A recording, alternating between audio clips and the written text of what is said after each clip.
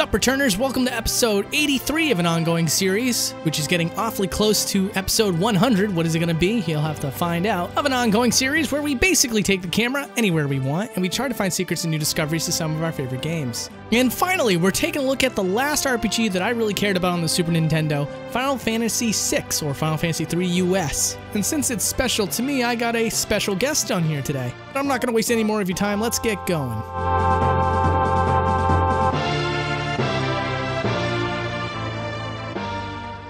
Conveniently, there's something to look at in the title screen. If we start removing certain layers, you can see that the font used to spell out Final Fantasy III is cookie cut so that different layers of fire could be used to make that effect. In fact, there's different layers of fire that go into making this work. And in the US version of Final Fantasy III aka 6, they use the logo again, only it's pure white. Though if you remove those layers again, you'd see that the fire is still technically there, it's just recolored to be completely monochrome white.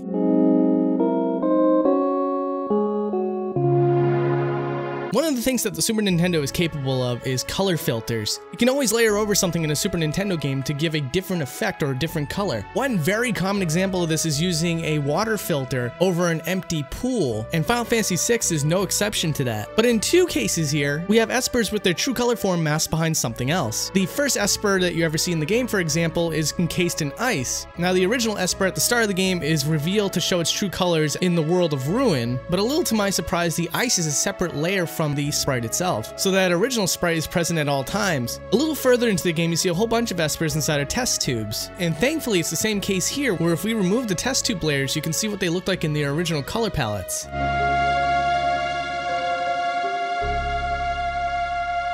So like I mentioned at the start of the episode, video games are like onions. They have layers. And part of what makes an episode a boundary break for a Super Nintendo game at all interesting is removing them and seeing what's behind things. Like here in Narshe, you're supposed to run behind a building, but if we were to remove a layer that has the building textures, you can see there was a path built for Terra to walk on that normally would never be seen by the player. Also, if we choose to remove the layer that hides the slave crown when it first gets presented to Terra, you'll see on the very first frame, which means we gotta freeze it down as slow as we can go, the sprite for this crown is broken up into pieces. Now, this wouldn't be seen by the player anyway, because it's behind a certain layer, and then as it starts to move up into scene, it's already assembled. And before we leave Narshe once and for all, let's do a zoom out of the town, so that we can get the whole thing in nearly one shot.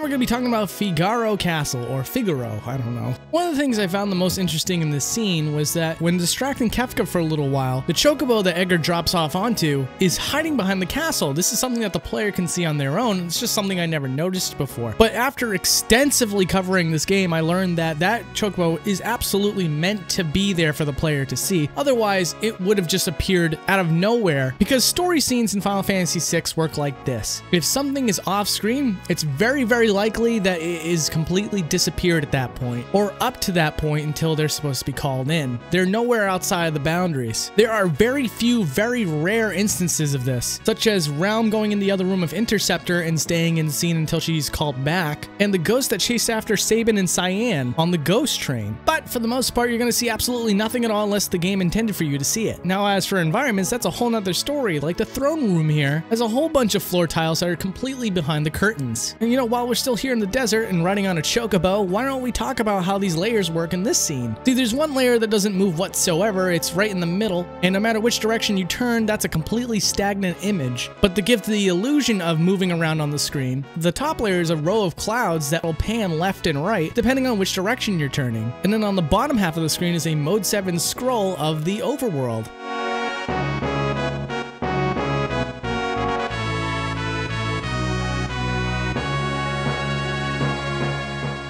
Next up is something that I saw on the cutting room floor. It is a unused environment tile that represents wall chains, and it's meant to be used on this map. By going well outside of the boundaries, we were able to find this unused object amongst the clutter pile of random tiles. And speaking of which, what is up with these random tiles? You'll see these when you go outside the boundaries of many Super Nintendo games. And fortunately, this time around, we might have ourselves an answer. Folks, I'm about to introduce you to the director of the game Sonic 3D Blast, as well as Mickey Mania. He also breaks down his own video games on his YouTube channel, Game Hut. So I'll leave it off to you, Jon Burton. It looks like they used 16 by 16 pixel tiles to make the maps for this game.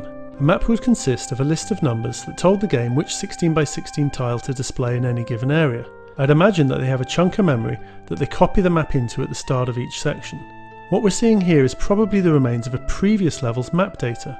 Possibly this section is smaller and so it didn't fill the whole of the map memory. The corrupt looking backgrounds are probably the map numbers that correspond to a different set of 16 by 16 tiles for an earlier section. So what we are most likely seeing is the map layout from a previous section but using this section's graphics.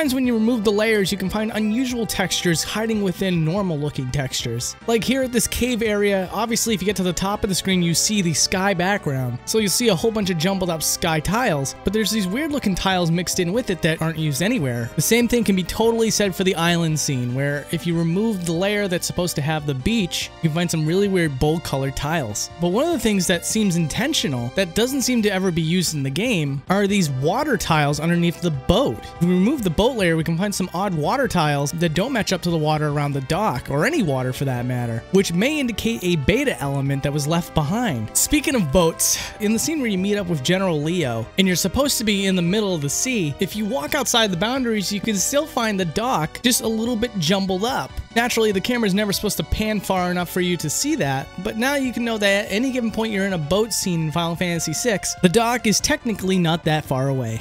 Also, with General Leo, I noticed that the tent that he stands near when you first see him doesn't allow you to look inside of it. But if we remove the top layer that shows you the inside of the tents, there seems to be a unique map on the table that's not inside of any of the other ones.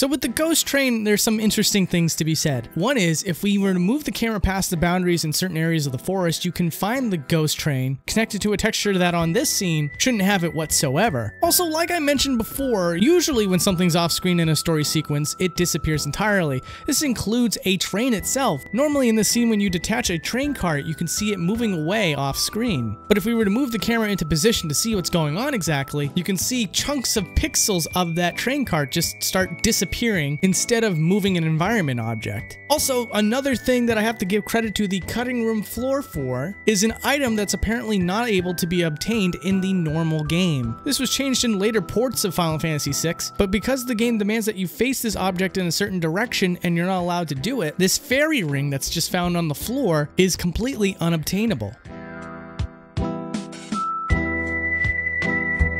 And before anyone else, I just want to let you know I hooked you up, guys. I made sure to double, triple, and quadruple check areas like what's beyond Figaro Castle, what's beyond very important key areas, what is inside all the boxes behind all the vendors in the game, where do all the stairs and doors go to behind the vendors. I checked all that stuff, and unfortunately, a lot of them just came up short. It was either that the map would just repeat itself immediately. Sometimes you get some really cool glitch graphics like the coin toss scene here with the Figaro brothers, and a lot of the doors behind the vendors surprisingly do open up, but unfortunately they only open up to another wall. So if anyone was expecting it to go anywhere, I'm sorry to say I checked every single one and none of them really went anywhere. Although there was one cool thing that I found and it was repeating graphics from characters that are already in the battle scene or just a couple of status effects that were unused that were hidden behind the UI. So I asked Jon from GameHut about that too and this is what he had to say on that. My guess with this is that they had no idea there were corrupt sprites there at all. There is no reason to keep these sprites active behind the UI, and if they had a bug that caused this effect, they would never see it as the UI hides it completely. It looks like there are four sprites active behind the UI. Three are 16 by 8 pixels in size, and the fourth is 16 by 16 pixels. Alternatively, it could be one 32 by 32 pixel sprite with gaps in the graphic data. The sprite, or sprites, was probably used earlier in the game and this section has put different graphics into the memory that this sprite was originally using, producing this corrupt image. The parts of the character graphic that you can see are a different colour as this sprite was originally assigned a different colour palette to match the sprite's original graphics. This was incredibly odd. At a certain point, you jump off of Barren Falls, and you end up on this screen that you never get to go back to, but you're supposed to move south so that you can get back onto the overworld map. However, for some weird reason, you can move right and exit on the right side of the screen, and this will take you to a completely different spot on the overworld map. And what better time than now to show you a zoom out of the overworld map to give you a better idea of where you end up.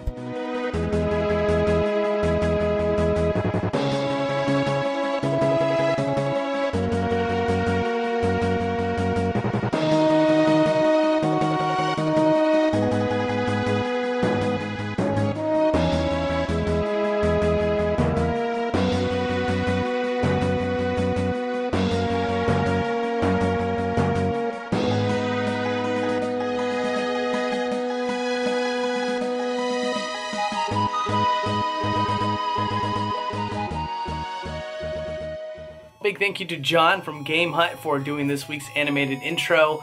Super duper appreciative of that. You are a legend, sir. I love your channel. I couldn't wait to talk about you, so it was, it was great for you to come on and explain a few things.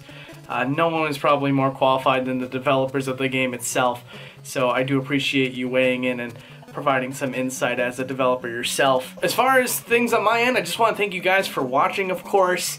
Uh, I got the panel going on at PAX East on the Friday if you're going to be there, so please show up to the panel. It's going to be at 7 o'clock.